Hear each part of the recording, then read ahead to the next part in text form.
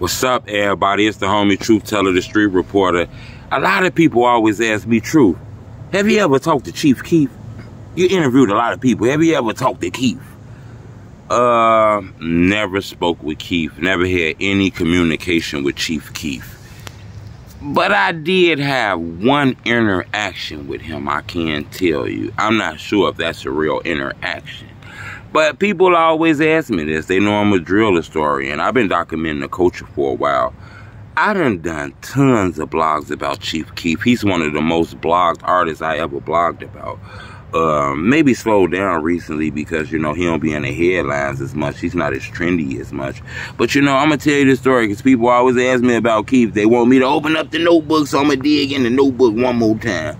Uh, you know, I always used to send Chief Keef DMs. I used to add him on Instagram, send him mentions on Twitters.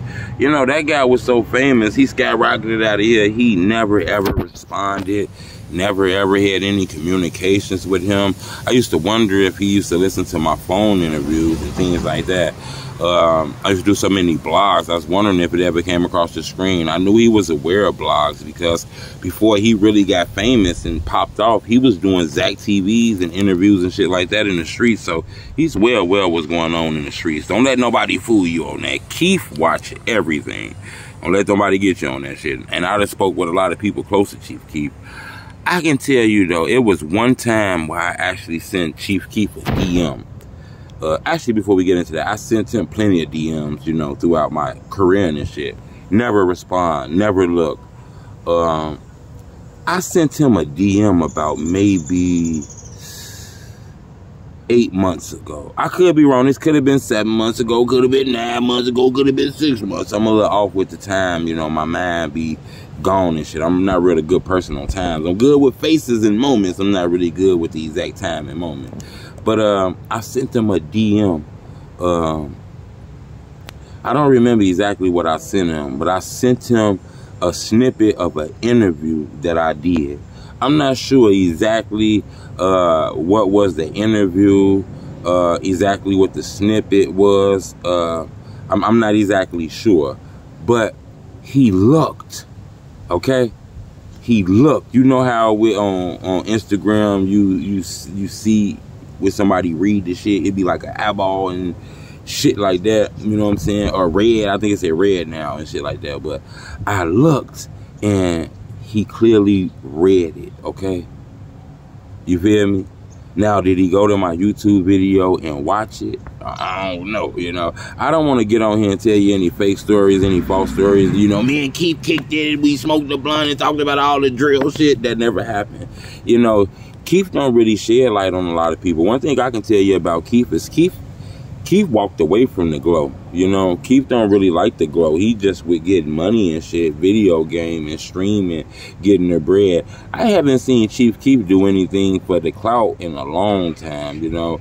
And that's a long time. Yeah, we seen him get in some trouble when he put the hand, he put them knuckles. I remember we all seen him put the knuckles on Ramsey the God, Ramsey the Great. But besides that, we ain't really seen Chief Keef doing anything for the camera. He not a fame hogger. He not doing shit for the internet. He barely want to speak.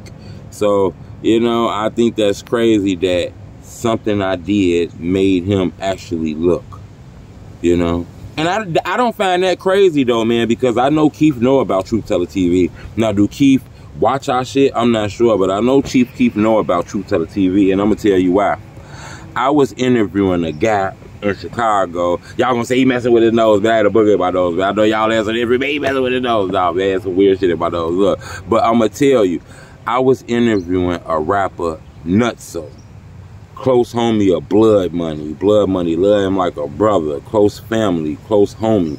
While I was interviewing him, Tadoe called in the middle of the interview and let me know that he didn't want to be in the interview cut the part out where he called in the phone and shit. You know what I'm saying? I ain't gonna tell you what that conversation was about because that's policey.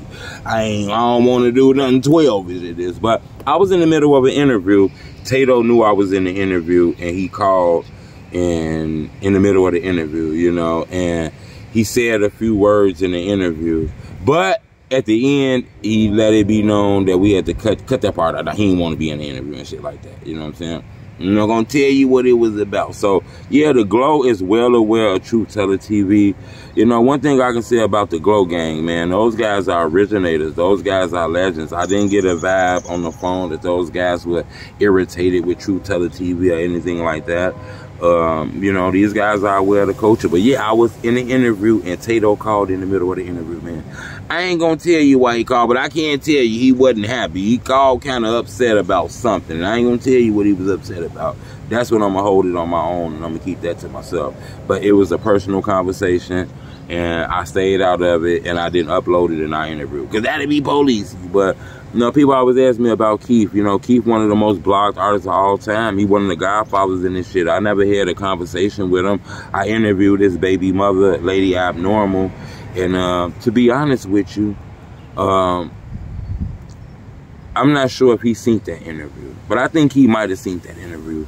That was a little while ago. But yeah, I tell people this shit though. I never spoke with Keef, but I was one of the rare guys that was able to DM him, DM him, and I know he got millions of DMs and he clicked mine and read it.